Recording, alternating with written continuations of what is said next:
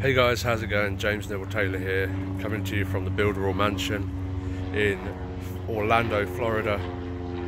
And I just wanted to come and talk to you today about a couple of things. Just had a surprise uh, guest and speech from legendary marketer David Sharpe, and he's set us a challenge to do 90 days of content and how important daily consistent action is and I don't put out nowhere near as much content as I could, and probably as much content as I should either. So I'm going to be committing to this 90 day challenge. I'm going to put out one piece of content at least per day for the next 90 days. In fact, I'm going to do one piece of content for the next six months. The last, the last half of the year, I'm going to be doing one piece of content every single day. So I'm going to be branding myself, putting myself out there, and being consistent with my content, which is really what I need to be and what anyone should be if they want to take their business to the next level. So, first thing that I want to do, this is kind of impromptu, I haven't really planned anything today, but sometimes the impromptu stuff is more is better than the planned stuff. So, I want to talk to you a little bit about today about stepping out of your comfort zone and pushing through when you want to quit. Because most people they stop when they get uncomfortable. They're not willing to do what it takes. They fail and then they stop. And failing shouldn't mean that you stop. The difference between the successful people and the unsuccessful people is the successful people have failed more times than the unsuccessful people have ever tried. So when you fail, when you when something doesn't work, don't be discouraged. And the first time you do anything is always going to be bad.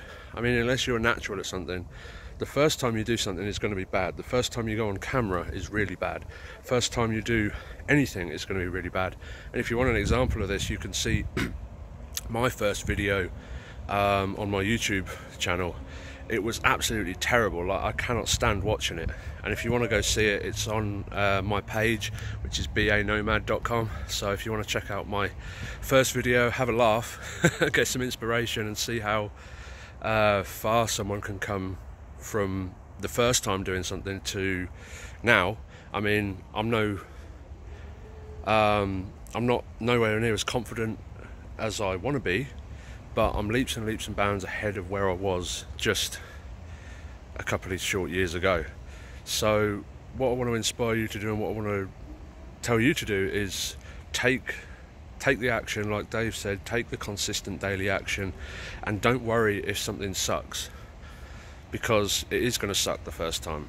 I mean, you you don't like get in a car the first time and expect to race uh, race the Formula One, you know and it's like when you're first born you have that mentality instilled in you to keep going and keep overcoming no matter how many times you fail. I mean, when you're a toddler you don't fall down a few times and say oh this walking thing it's not for me you know? Um, I'm just going to crawl around for the rest of my life. You know you keep getting back up. You get up thousands of times.